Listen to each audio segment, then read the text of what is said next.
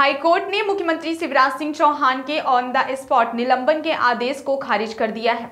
इतना ही नहीं, इस एक्शन के लिए राज्य सरकार को नोटिस भी दिया है। सीएम ने 10 दिन पहले छिंदवाड़ा के मुख्य चिकित्सा एवं स्वास्थ्य अधिकारी जीसी चौरसिया को मंच से ही निलंबित करने के आदेश दिए थे। निलंबन आदेश को चौरसिया ने हाई कोर्ट में चुनौती दी थी। कोर्ट ने सस्पेंशन पर रोक लगाते हुए स्टे ऑर्डर दिया है। यह दूसरी बार है जब चौरसिया को हाई कोर्ट से राहत मिली है। इससे पहले सीएम ने उन्हें पद से हटा दिया था। तब भी चौरसिया हाई कोर्ट से स्टे ले आए थे।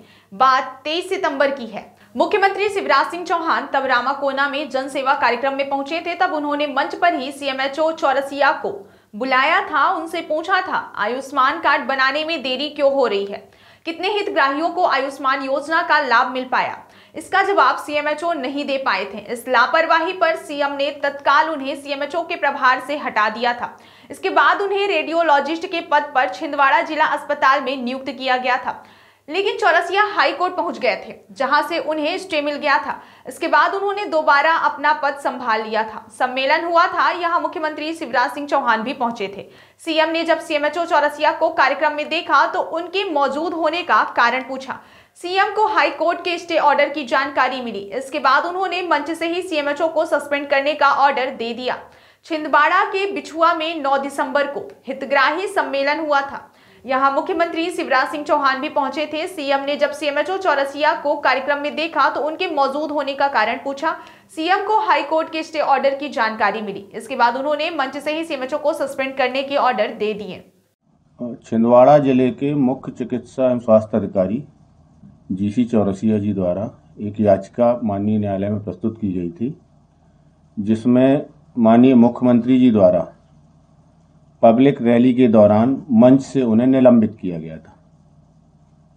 याचिका का प्रकरण, याचिकाकर्ता का प्रकरण यह था कि 22 सितंबर 2022 को जब माननीय मुख्यमंत्री जी द्वारा रामाकोना में एक सभा अटेंड की गई थी, उसमें कुछ लोगों ने शिकायत की कि आयुष्मान कार्ड नहीं बन रहे हैं। इसको लेकर मंच से ही माननीय मुख्यमंत्री जी द्वारा श्री चौरसिया जी को पद से पृथक करने हेतु आदेशित किया गया और उसके पालन में 23 सितंबर को इनको पद से पृथक भी कर दिया गया जिसके विरुद्ध जीसी चौरसिया द्वारा पूर्व में एक याचिका माननीय उच्च न्यायालय में प्रस्तुत की गई और उस याचिका में माननीय उच्च न्यायालय द्वारा इनको स्थगन प्रदान किया गया पुनः दिनांक 9 बारह 2022 को माननीय मुख्यमंत्री जी का छिंदवाड़ा ज़िले में कार्यक्रम हुआ, जिसमें जन चेतना अभियान रैली में मंच से यह उद्घोषणा की गई कि इस व्यक्ति को तो पूर्व में मैं हटा चुका था। ये फिर से यही है, इसलिए अब मैं इनको निलंबित करता हूँ। इस मंच के कार्यक्रम की वीडियो क्लिप जो थी सीडी के माध्यम से भी माननीय उच्च न्यायालय के समक्ष प्रस्तुत की गई। और जिसको माननीय उच्च न्यायालय द्वारा आज बहस के दौरान सीडी की क्लिप्स चलवाकर सुनी गई और ये पाया गया कि इस यह तरीका निलंबित करने का उचित नहीं है। और जो अधिकारी है, उनके द्वारा सही कारण लेख न करते हुए बेवजह याचिकाकर्ता को निलंबित किया गया है। और आज माननीय उच्च न्यायालय की बेंच द्वारा श्री जी सी चौरसिया के निलंबन आदेश को एवं उनके स्थान पर जिसको करंट चार्ज दिया गया था, दोनों आदेशों को स्थगित कर दिया गया है।